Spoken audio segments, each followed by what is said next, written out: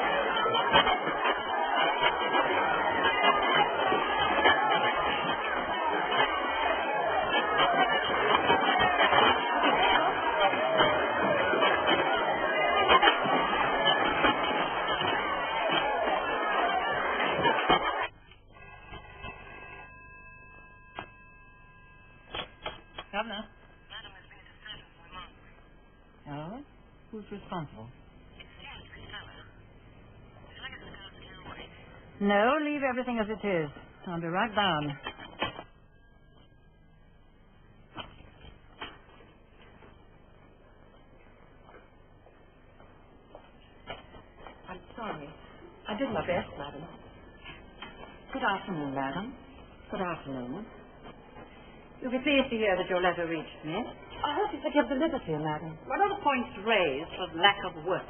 We've been in our rooms all day. Workrooms have been shut all day. I'm sorry you've been deprived. No doubt you'll be pleased to make up for it now. It's not up now. Well, you're being privileged. You may replace these books on the shelves and make a separate pile of all the damaged books. I'll see that you get sellotape and scissors. Madam, I, think... Yes, Mrs. Bostock, we'll talk in your room. Stay with Miss Cipriano until she's finished, will you?